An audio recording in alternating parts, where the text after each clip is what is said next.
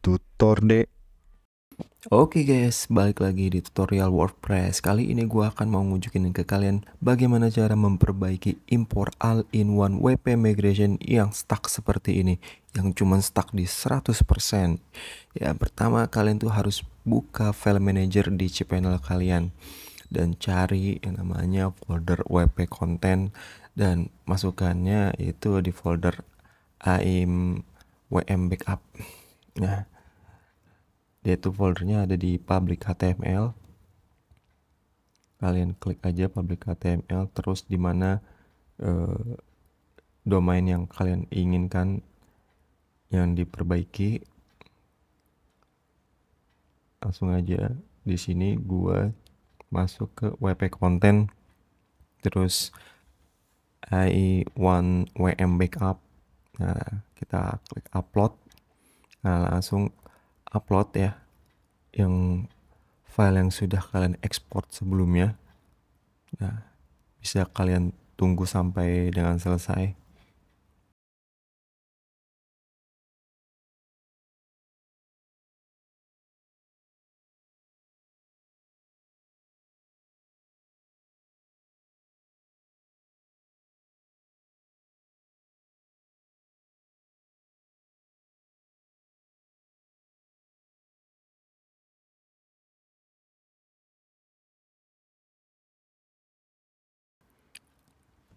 Nah, udah selesai nih. Kita cek balik lagi ke dashboard WordPress kalian. Kemudian ya, refresh dulu dikit. Reload. Setelah itu kalian cek backup apakah ada apa enggak. Nah, di sini masih belum ada nih, kayaknya masih ada kesalahan di cPanel di cPanel gua uh, coba gua refresh dari kayaknya sih di masalah cPanel nih.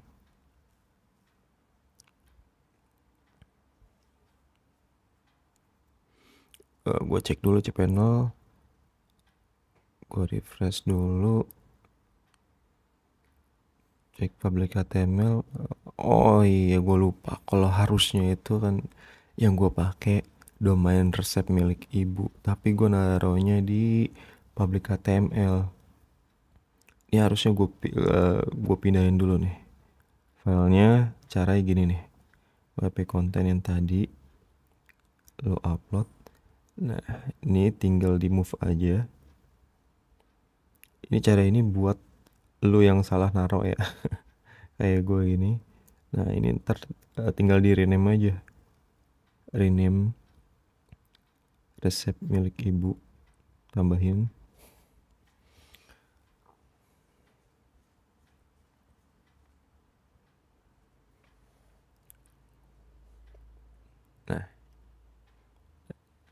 Dah, sip. Tinggal di move aja nih.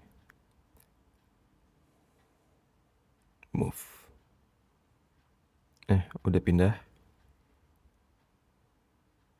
WP content.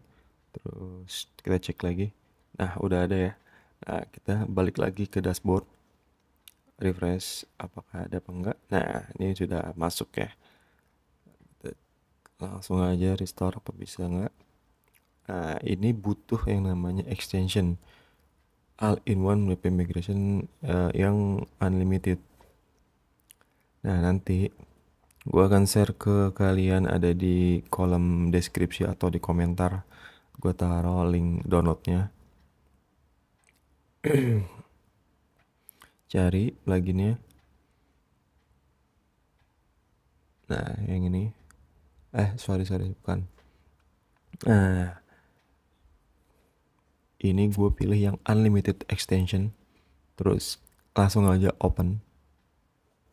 Install now.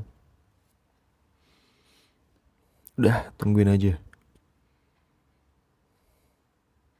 Langsung kita klik aktif plugin.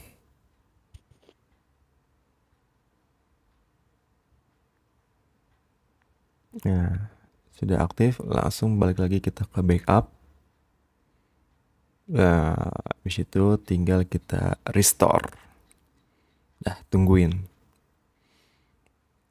Kalau udah kayak gini tinggal klik aja proses. ya tinggal tunggu aja prosesnya sampai 100% nggak tahu ya akhir-akhir ini tuh sering banget uh, all in one WP migration ini sering stuck padahal size-nya itu nggak lebih dari kapasitas yang minimal dia kasih itu. Di bawah itu kan itu punya gue tapi kenapa stuck mulu 100% nah cara ini bener-bener ampuh guys. Udah pernah gue coba. Tungguin aja sampai 100%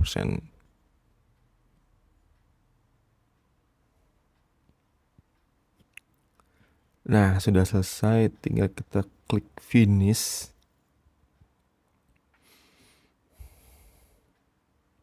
Klik finish terus bisa di reload atau hapus aja belakangnya buat mastiin udah ke ini apa belum. Nah habis itu kita klik update WordPress database. Klik continue. Nah tinggal masukin username sama password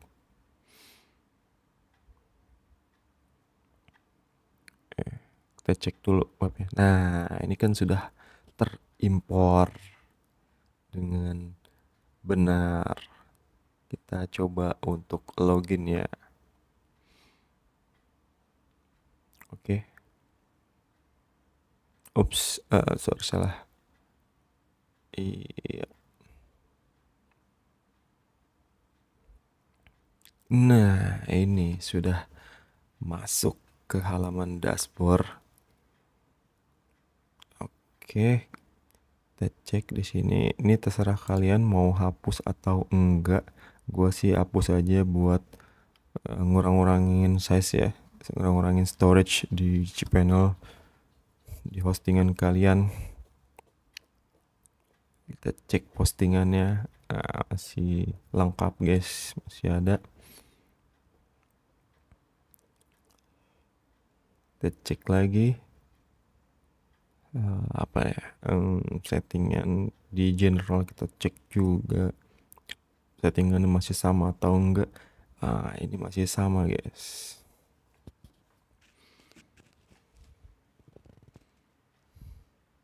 Uh, bentar.